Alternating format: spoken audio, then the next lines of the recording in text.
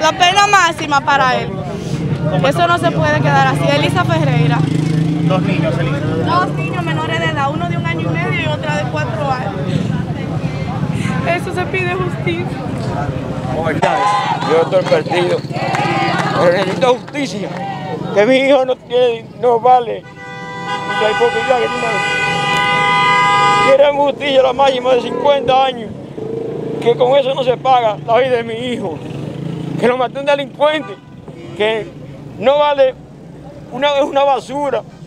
Un hombre y mi hijo trabajando, que se crió trabajando, que yo eduqué. Y el pueblo sabe lo que era mi hijo, que iba de su trabajo, de su familia. Y viene este delincuente a destrozar la vida de él y de todo, y de lo que lo quieren, y yo que soy su padre, que me encuentro destrozado. Y quiero ver la justicia que haga un día algo, porque aquí se queda todo impune. Pero queremos justicia porque ese delincuente desaparezca del mundo.